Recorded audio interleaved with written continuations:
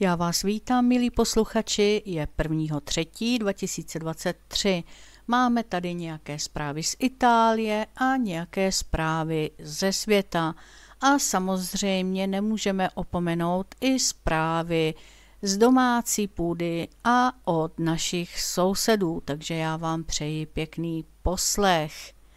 Začneme s pravodajstvím z Itálie a dnes budeme mít zpravodajství dle televize BioBlue, takže to jsou zprávy převzaté z BioBlue. Meloni slibuje Itálie s Ukrajinou až do vítězství. A za jakou cenu?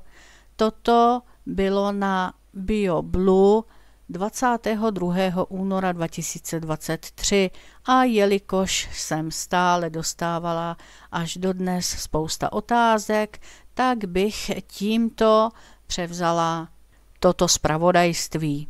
Promenáda premiérky George Meloniové na Ukrajině skončila.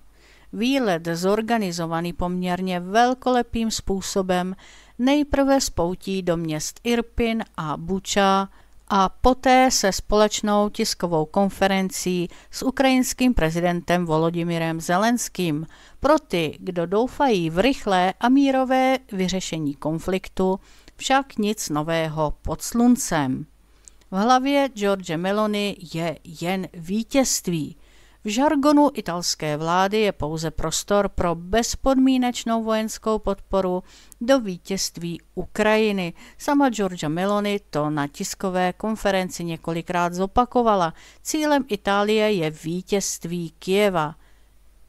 Vítězství Ukrajiny však předpokládá porážku Ruska. Země, která, jak připomínáme, je vybavena jadernou zbraní.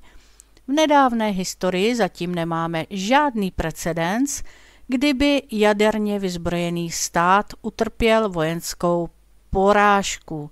Také proto, že by možná bylo moudré, aby se to nestalo. Nepřijatelný mírový plán Kieva. Georgia Meloni se pak odvolává na pomyslený mírový plán, který prý Ukrajina představila a který by byl důkazem snahy Kieva ukončit válku. Ve skutečnosti jde o dokument vypracovaný Ukrajinou bez jakoukoliv konfrontací s ruským protějškem a z tohoto důvodu již sám o sobě nepřijatelný. Ve skutečnosti plán rozdělený do deseti bodů neřeší otázku sporných území Donbasu jediného skutečného důvodu, který přiměl Rusko zahájit takzvanou speciální operaci. Plán hovoří obecným způsobem o respektování územní celistvosti Ukrajiny. Co to znamená? Znamená to dokonce ustoupit od mínských dohod, podepsaných oběma stranami, ale nikdy nerespektovaných, které při nejmenším zaručovaly zvláštní status v Doněcké a Luganské oblasti.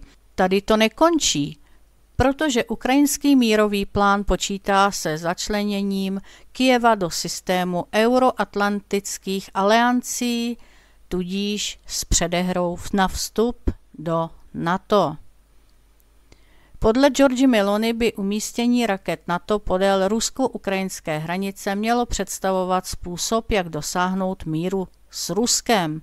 Když Georgia Meloni chtěla Ukrajinu pryč z EU a NATO, to je podtitulek, a k tomu je napsáno v a právě v tomto bodě se zdá, že současná premiérka udělala další skok od myšlenek, které kdysi šířila, protože na tiskové konferenci se Zelenským Georgia Meloni znovu potvrdila ochotu Itálie podpořit vstup Ukrajiny do Evropské unie. Když však současná premiérka v minulosti bojovně obsadila opoziční lavice, byla přesvědčena, že vstup Kieva do Evropské unie může způsobit mnoho problémů. Ze své strany Zelenský pod tlakem novinářů zaútočil na vůdce Forza Italia Silvia Berlusconiho s kritikou namířenou proti Kievu.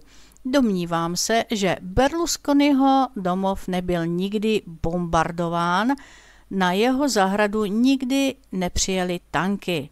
Strašná fraška, vezmeme-li v úvahu, že Berlusconi v dětství zažil na vlastní kůži nejen německou vojenskou okupaci severní Itálie, ale také bezohledné bombardování civilního obyvatelstva anglo-američany. Takže toto bylo napsáno na BioBlue 22.2.2023. A jdeme na další zprávu z téhož zdroje. A nyní to budou zprávy z 27. února 2023, tedy z tohoto týdne. Kanadský soudce proti očkování dětí. Nevěřím mainstreamovým médiím. V malém městě v Kanadě, v New Marketu, Ontario, musel soud vyřešit rodinný spor, očkovat či neočkovat tři nezletilé děti proti COVID-19. Podle rozsudku soudce je odpověď jednoduchá ne. Neexistují žádné důkazy, které by potvrzovaly bezpečnost a účinnost vakcín a vládní prohlášení o nich zůstávají vysoce kontroverzní. Stojí v rozsudku. Z tohoto důvodu dal soudce během líčení možnost citovat nebo přizvat ke svědectví znalce, kteří již proti očkování jsou. Překvapená a Znepokojená kanadská média informovala o 67 stranách usnesení se všemi náležitostmi případu. Verdikt uvedli jako dezinformaci o vakcínách a argumentaci soudce jako jednoduše nesprávnou. HALT Kanada, tedy kanadská v italštině AIFA, v češtině SUKL, schválila i dávky pro nezletilé, opakují noviny dále. Jakákoliv pochybnost o tom by tedy podle nich měla být prostým spiknutím. Úžas novinářů je předvídatelný. Rozsudek ve skutečnosti používá velmi kritické tóny a ukazuje prstem na vládu Trudeau a mainstream.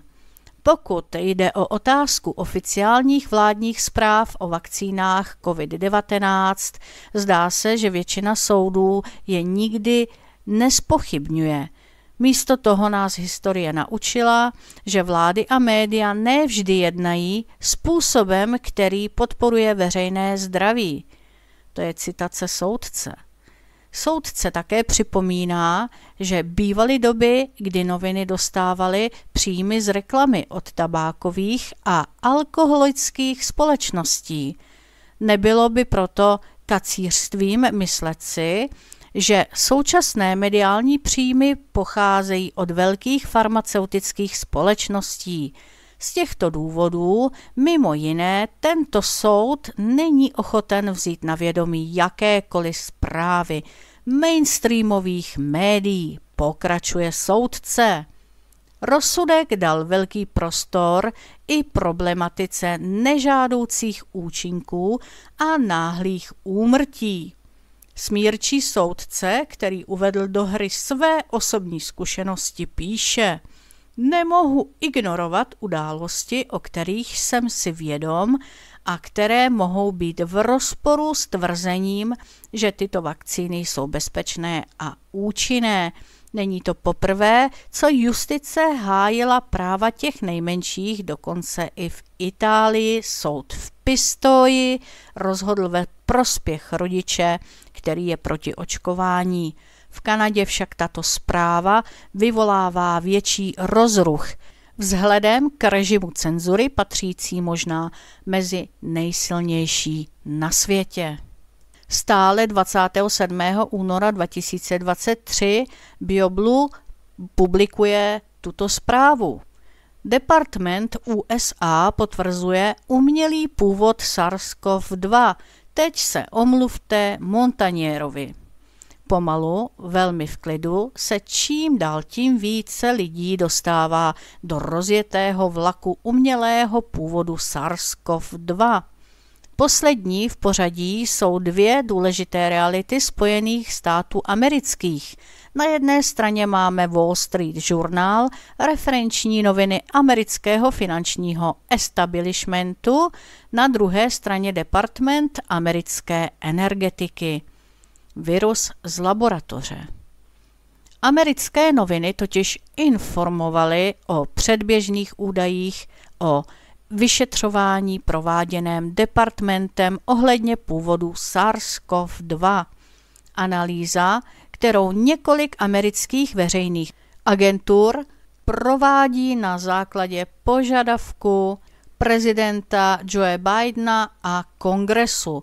Americký department energetiky dospěl k závěru, že pandemie COVID s největší pravděpodobností vznikla z úniku z laboratoře podle tajné spravodajské zprávy, která byla nedávno poskytnuta Bílému domu a klíčovým členům kongresu, píše deník Wall Street.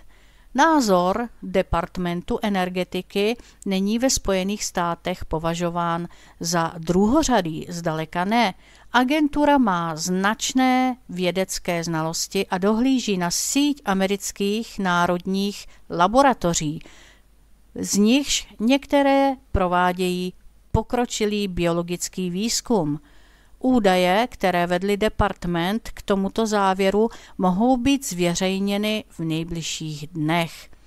Tento poslední posudek je na stejné úrovni s tím, co již uvedla jiná důležitá americká agentura FBI – Dokonce i v těchto kancelářích jsou zcela přesvědčeni, že SARS-CoV-2 vyšel z Wuhanského virologického institutu.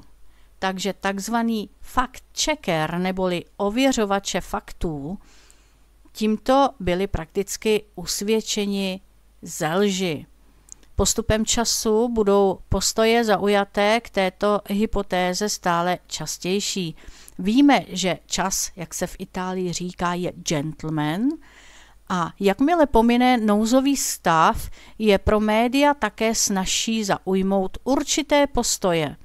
Jasně si vzpomínáme, jak na začátku vypuknutí zdravotní nouze byla jedinou přijatelnou teorií teorie zoonózy, tedy přenosu viru z netopíra přes hostitelské zvíře na člověka – extrémně krátké načasování tohoto druhového skoku, chybějící identifikace hostitelského zvířete spolu s přítomností laboratoře s maximální bezpečností ve městě Wuhan však přiměli několik mezinárodně uznávaných vědců takzvaně ohrnovat nos. Samozřejmě nevěřili mezi nimi Luc Montagnier, který se v dubnu 2020 vyjádřil takto. Příběh rybího trhu je krásnou legendou, ale není možné, že by se jednalo pouze o virus přenášený netopírem, odtud pravděpodobně začali a pak ho upravili. Hypotéza, která byla předmětem posměchu obvyklých známých ověřovatelů faktů, což také vedlo k cenzuře na sociálních sítích jakéhokoliv obsahu, který by mohl odkazovat na hypotézu umělého původu. Nyní o tři roky později Wall Street Journal spolu s americkým departmentem energetiky souhlasí s Montanierem a popírají hlásání ověřovačů faktů nikdy nevyjasněná role EcoHealth Alliance. Tak to je další bod, jak opakovaně informovali na BioBlue, na vzniku SARS-CoV-2 se nepodílí pouze Virologický institut Wuhan – ale také americká nevládní organizace EcoHealth Alliance, organizace, která v průběhu času získala finanční prostředky od Departmentu zdravotnictví vedeného Antonym Faučim na provádění experimentů s koronavirem, který se zdal být typu gain of function, tedy získávání funkce nebo funkčnosti. Nejznepokojivějším aspektem tohoto příběhu je, že navzdory nyní ohromujícím důkazům nebyly experimenty se ziskem funkce virů dosud zastaveny. Teprve loni v říjnu v laboratoři Bostonské univerzity američtí vědci skombinovali omikronovou variantu s původním kmenem Wuhan, čímž vytvořili vysoce smrtelnou verzi SARS-CoV-2. Možná by bylo na čase definitivně zakázat jakýkoliv typ experimentování v tomto smyslu. Takže to byla další zpráva z BioBlue. A nyní máme zprávu, nyní si poslechneme písničku a po pauze vám pustím převzatá videa, převzaté pořady z domácí scény, jelikož je tam něco velmi důležitého a nechci to nechávat nakonec a taktéž od našich sousedů. Takže potom dále si povíme pár dalších zpráv ze světa, zase z Bioblu ze dnešního dne. No a podíváme se, co se děje právě ve sněmovně parlamentu České republiky. Nyní uslyšíte převzatý pořád z YouTube Tomia Okamury, předsedy SPD. Představte si, že Fialová vláda chce umlčet opoziční SPD. Toto video najdete na YouTube, jak jsem již předeslala, a bylo vloženo v 19.30 dnes 1.3.2023.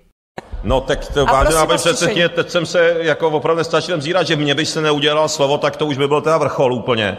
Uh, ještě, že jste se včas opravila teda, protože to teda jako my tady zastupujeme jako celé politické strany, které volí prostě tisíce občanů, tak to teda ještě, že jste se nadechla a trošku se to rychle změnila. Ale já mám hlavně problém s jinou věcí. Já jsem chtěl dát protinávrh s tím, že tady, co tady navrhoval pan Výborný, já jsem chtěl hlavně vystoupit ještě s projevem. No takže tady to není u mě o protinávrhu.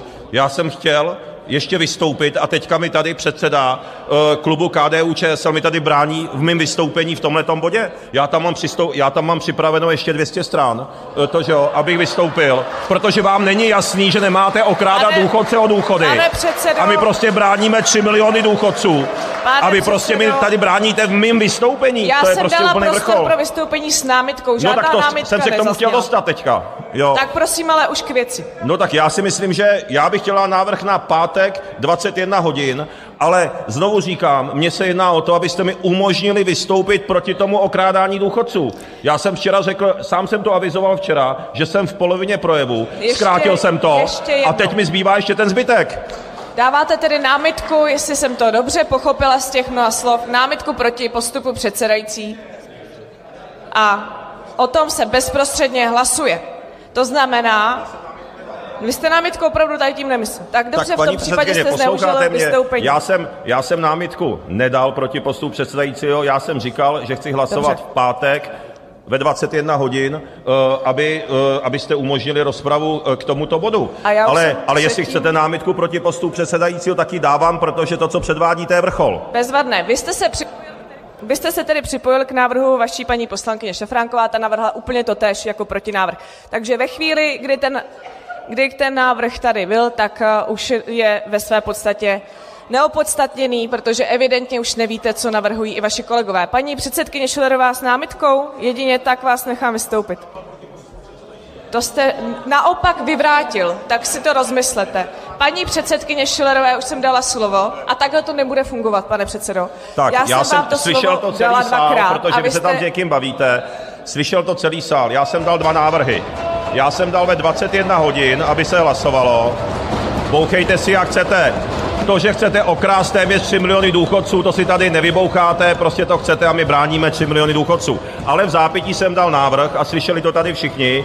Dal jsem návrh, kývou i opoziční poslanci, proti postup předsedajícího. A teď už to opravdu má legitimitu, že to, že se přeslechnete dokonce můj návrh a nechcete o něm dát hlasovat, no tak to ne. je opravdu. Takže ještě jednou, dávám také zároveň návrh proti postupu předsedajícího. To se řekl jsem to i ve svém minulém vystoupení. To se námitku. námitka. Námitku a řekl jsem to i ve svém předešlém vystoupení, ale vy se tam asi s někým bavíte, tak se se přeslechla dobře, ale řekl jsem to i ve svém předešlém vystoupení. Tak ještě takže jste sami slyšeli tu nehoráznost. Každopádně vám dám ještě další krátký převzatý pořád stále z YouTube Tomia Okamury a ten je ze včerejška a jedná se právě o důchodce. Tedy uslyšíte, co Tomio Okamura říká ve sněmovně, co se týče důchodců nebo respektive toho, že Fialová vláda chce okrást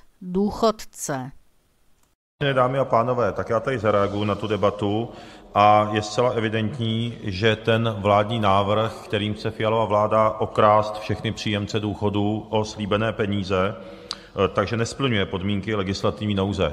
Proto já dávám návrh na zrušení legislativní nouze jménem SPD a tím pádem se o mém návrhu bude hlasovat po ukončení obecní rozpravy. Eh, takže bych vás chtěl, abyste si to poznamenala. Dávám jménem SPD návrh na zrušení legislativní nouze a tím pádem se o našem návrhu bude hlasovat po ukončení rozpravy. Eh, samozřejmě má to opodstatnění, protože eh, ta legislativní nouze vy můžete v podstatě použít jenom v případě, že jsou ohrožena základní práva a svobody občanů, bezpečnost státu nebo když státu hrozí značné hospodářské škody. Tady je ten paradox, že vaše vláda sama způsobila vaší nekompetentností a diletantstvím hospodářské škody. Eh, jsou tady jasné statistiky, eh, kdy eh, vy sami jste způsobili škody a teď říkáte, že na základě těch vámi způsobených hospodářských škod mají obětí, tím obětním beránkem mají být všichni příjemci důchodů. Tak to je teda nehorázný. Takže vy to způsobíte a pak tady argumentujete vámi způsobenými hospodářskými škodami. No to je šílená situace. A mimochodem, ať je to tady pravidelná zpráva Evropské sítě proti chudobě, která říká, že milion českých občanů už za vaší vlády žije pod hranicí chudoby. Dále, že počet českých domácností s příjmem pod hranicí chudoby vzrostl z 9 v průběhu roku 2021 na současných 17% V exekuci je kvůli nečinnosti a neschopnosti vaší vlády 9% všech občanů, v některých regionech je to až 16% 40% rodičů samoživitelů je pod hranicí chudoby. Takže to jsou výsledky vaší vlády. Vy jste způsobili hospodářské škody a teď ještě tím samým argumentujete. Čas. Je to opravdu velmi nechutná situace. Čas. Pane předsedo. A zde je další převzatý pořad, ten vám opravdu musím pustit a je to také z YouTube, ale slovenského poslance za republiku Milana Mazureka a toto video má název Toto vám vyrazí dech. Mazurek zůstal v šoku z toho, co chtějí povinně prezentovat ve školách. Takže toto je opravdu velice důležité a zároveň úplně neskutečné. Jak už jsme mnohokrát říkali, to, co se děje zde, se brzy a nebo ještě dříve děje u našich sousedů a naopak takže je velice důležité o tomto informovat. Priatelia, keď vám poviem, aký zákerný sexuálny obsah idú povinne tlačiť do vašich detí na stredných školách, budete naozaj rozčarovaní. Slovenská akadémia vied totiž pripravila nový pracovný zošit, ktorý sa má v rámci reformy osnúv ministerstva školstva zaviesť ako povinná sexuálna výchova na stredných školách na Slovensku. Už samotný obal tohto pracovného zošita podľa mňa hovorí za všetko. No aj obsah samotného dokumentu naozaj stojí za to. Hovorí sa tam, že situácia, pri ktorej dvaja dospelí muži vychovávajú malé dieťa, je úplne prirodzená, normálna a dokonca progresívna, pričom je tam vymenovaná celá plejada štátov, kde je niečo také legálne, navodzujúc tak dojem, že Slovenská republika je nedostatočne progresívna. Priam zaostala a bolo by správne, ak by sme k niečomu takému legislatívne dospeli aj na Slovensku. Dokonca tento pracovný zošit navrhuje praktické cvičenia pre žiakov stredných škôl, pri ktorých títo žiaci logickým vyústením jednotlivých úloh dospejú do stavu, že takáto zmena legislatívy na Slovensku je priam nevyhnutná, je žiadúca. V dokumente taktiež nájdete celú škálu akýchsi sexuálnych identít, o ktorých ste tak ako ja určite doteraz nikdy nepočuli. Niečo také však idú prezentovať priamo žiakom na stredných školách. Pracovný zošit dokonca odkazuje na video, s ktorým majú študenti pracovať, v ktorom sa pojednáva o tzv. neštandardných vzťahoch a hovorí sa tam jasne, že je úplne normálne, ak má mamka ešte nejakých ďalších mužských kamarátov, a ak má ocko ešte nejaké ďalšie ženské kamarátky, prípadne taktiež mužských kamarátov. Ak sa teda spolu dohodnú, čo je na tom zlého. Toto idú povinne prezentovať žiakom na stredných školách v Slovenskej republike. Priatelia, za tento absurdný kompilát YouTube videí s degeneratívnym obsahom zaplatili daňoví poplatníci v Slovenskej republike neuveriteľných 211 tisíc eur. 211 tisíc eur za pracovný zošit, ktorý do slušnej spoločnosti jednoznačne nepatrí. Ak ste rovnako ako ja presvedčení, že takýto sexuálny obsah do našich detí nesmieme tlačiť, a ak si rovnako ako ja prajete, aby sme toto šialenstvo zastavili, neexistuje iná možnosť, ako v najbližších predčasných parlamentných voľbách zvoliť hnutie Republika, ktoré sa tomuto šialenstvu otvorene postaví a nedovolí, aby takéto veci boli pretláčané povinne do detí na stredných alebo dokonca základných školách.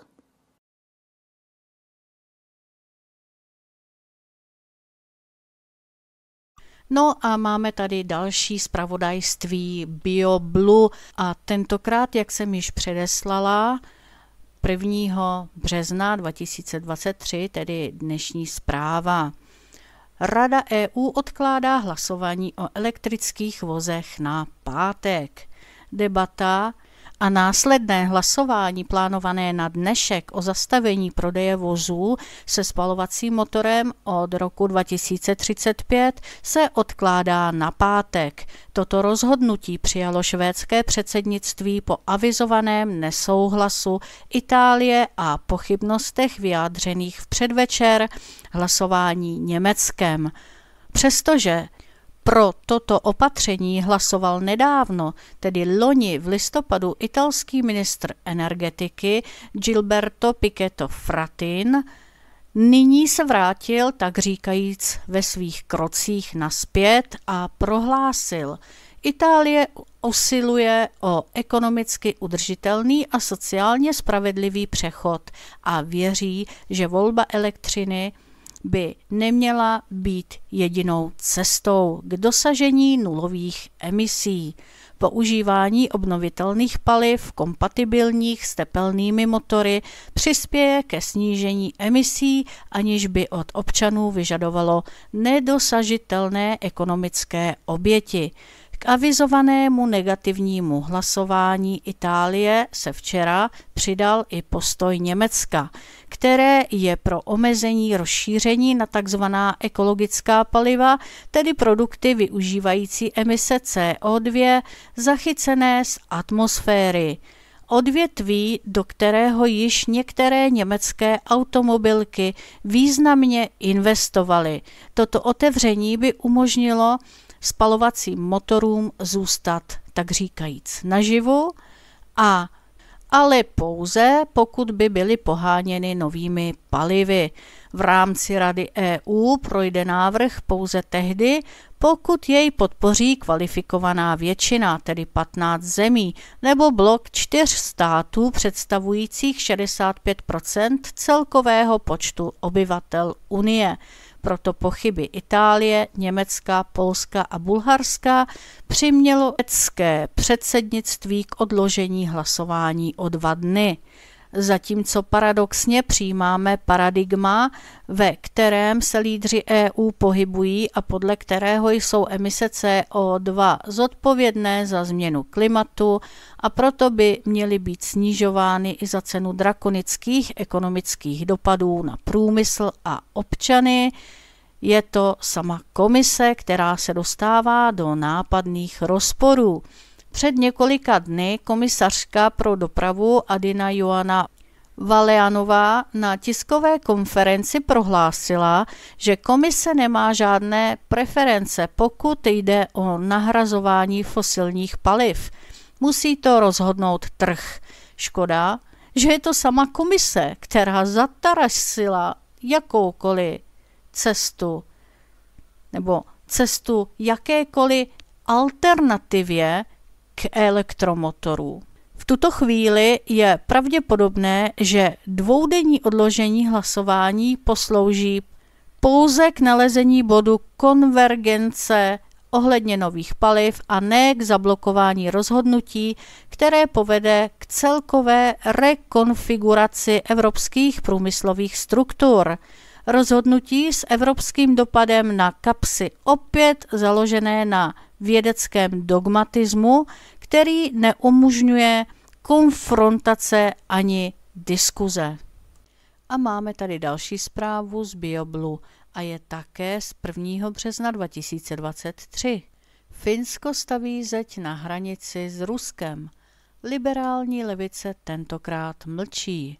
Z Finska dorazily dvě novinky – Jednou z nich je, že Národní parlament schválil vstup do NATO, kde každopádně rozhoduje momentálně chybějící ano ze strany Turecka. Další novinkou je, že Helsinky zahájily práce na stavbě zdi na hranici s Ruskem. Bariéra vysoká 3 metry a celková délka 200 kilometrů by měla být hotová do června. Ruská zeď proti migrantům. Dílo již dostalo zelenou od finského parlamentu v říjnu 2022. Bylo navrženo tak, aby blokovalo migranty, protože podle vlády vedené Sanou Marin by Kreml mohl použít ty, kteří prchají z Ruska jako nátlakový prostředek. Vztahy mezi Helsinkami a Moskvou nebyly nikdy jednoduché od dob carů a poté Sovětského svazu za druhé světové války mezi rusifikací Finska a územními ústupky SSSR. Tato hořkost, která vedla Finsko k žádosti o vstup do NATO bezprostředně po ruské vojenské operaci na Ukrajině.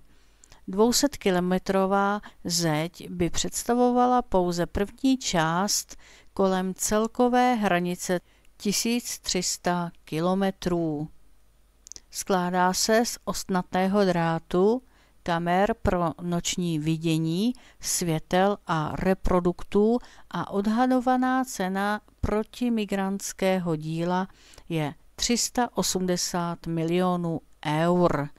Finsko se prý stalo cílem migrantů z Ruska, zejména v září 2022, kdy se začaly šířit řeči, že se Moskva snaží naverbovat mladé vojáky, které pošle na frontu.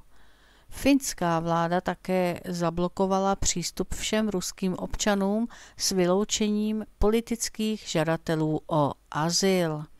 Kritika Orbána a Trumpa ticho o Marin a Polsku. Překvapivá je absence kritiky Sany Marin po tomto rozhodnutí ve srovnání s jinými premiéry. Marin se vlastně těší sympatím evropské levice. V Itálii ji mají rádi i proto, že je to žena na poměry naší země, tedy zde mluvíme o Itálii, docela mladá. Přesto staví zeď proti migrantům. Ve stejné věci byli ovšem jiní premiéři napadáni. Například v Evropě je Viktor Orbán. V Maďarsku byla v roce 2015 na hranici se Srbskem a Chorvatskem postavena zeď, která měla omezit příchod migrantů z Balkánu.